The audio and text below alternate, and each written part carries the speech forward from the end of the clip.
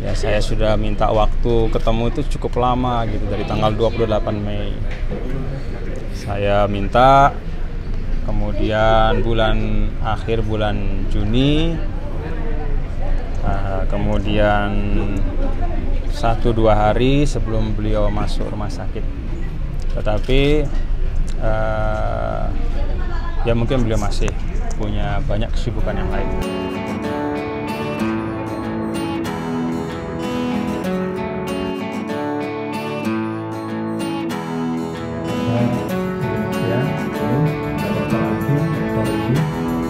Dan rekan-rekan uh, dari media juga teman-teman semua. Uh, saja bahwa dan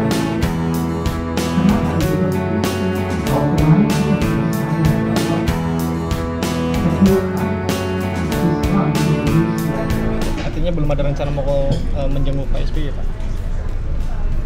Ya kan kalau kita hadir itu harus uh, bisa mengkondusifkan situasi.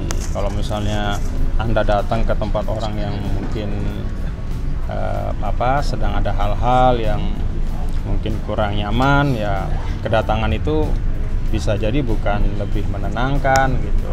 Jadi kita doakanlah beliau sebagai tokoh bangsa sehat selalu. Alhamdulillah.